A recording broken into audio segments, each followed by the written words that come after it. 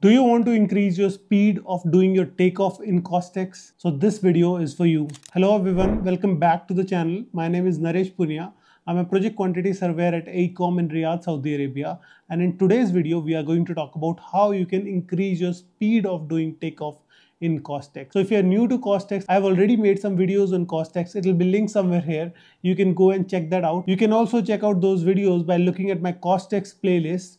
With that out of the way, let me take you to the computer screen to show you how it is done. So I've opened the CostX and I have uploaded the two drawings. One is the guest house plan and another is electrical drawing. Here I'll be talking about three measurements that you can do quickly. First is the area measurement. Then we'll go on to the length measurement and then we'll talk about the count measurement and how you can do that quickly. So let's move on to the area measurement. We'll go to the guest house plan drawing and here we are assuming that this is going to be our flooring schedule because I'm working on a confidential project. I cannot share detail of my project. This is the drawing that I found online. So we have to make some assumption. We are assuming that this is the area schedule drawing. So we'll um, consider that all of these area will have tile flooring and we are going to do the measurement. So traditionally how we do the measurement, we'll use either the point mode and we do the measurement like this, selecting all the points and press enter. And to make it look easier I'll just change the font of this to orange so that you can see which is the area. So this is one way of doing it. I'll just select and delete this uh, dimension.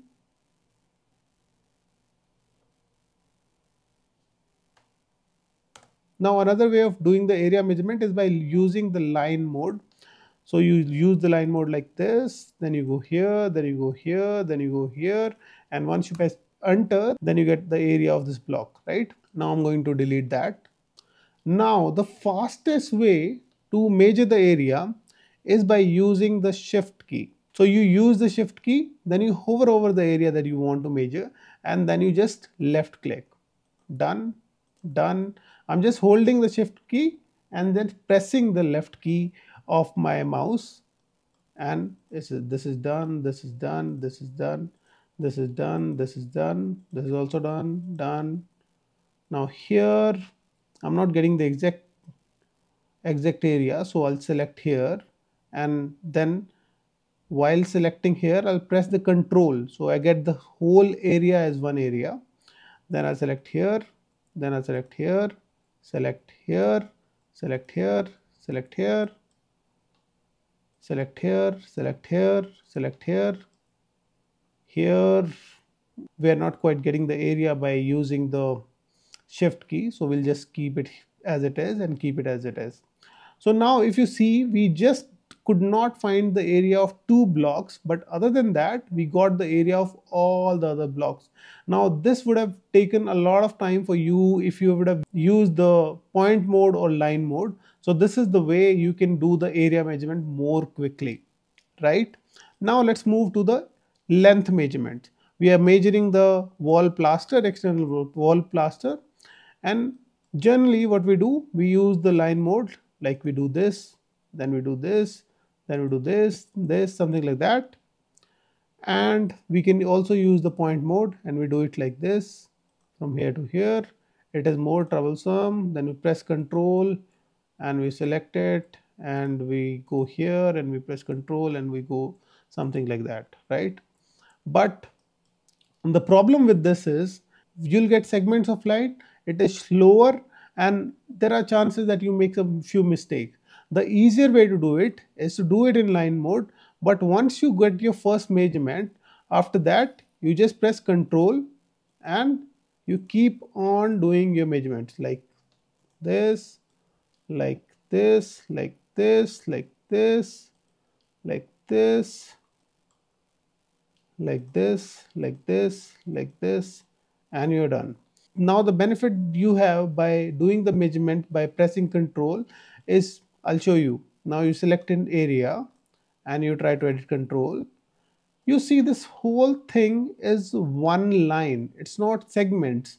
So this helps you to do the measurements more quickly and more efficiently. Now let's move on to the count measurement. So for the count measurement, we are going to measure the light, ceiling light and ceiling fan, right? In the same drawing.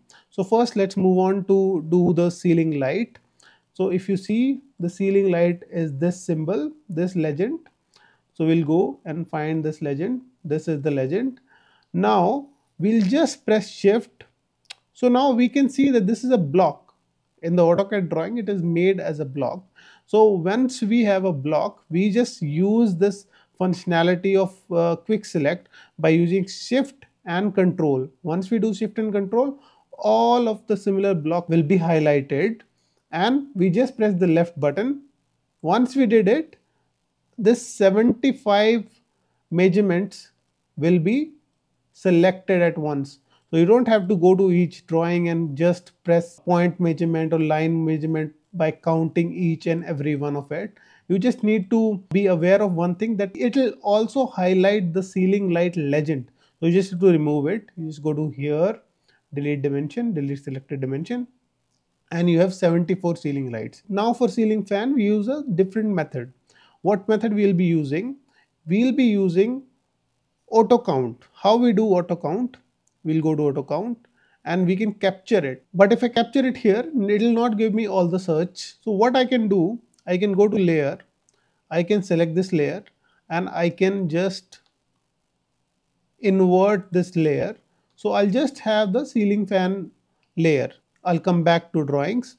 I'll come back to dimension group. I'll select the ceiling fan. Now what I'll do, I'll go to auto count. I have to capture and then I'll select this. Done. Now I'll just search it. It will quickly find it. And if you see, it has selected at least 80% of the dimension. I just click here, save accepted and 29 of these counts are done. Now I'll just do this, this, this, this, this, this, and this, this, this, this, this. Sorry, this is probably uh, this is probably the legend, so I'll just remove it. This and this. So now I think we have saved considerable amount of time if you would have done manually all the measurements. So these are the two ways you can do the auto count. So this was a little something about how you can increase your speed of doing measurements in CostX. I hope you liked the video. If you did, give it a thumbs up and please subscribe to the channel. I'll see you in the next video.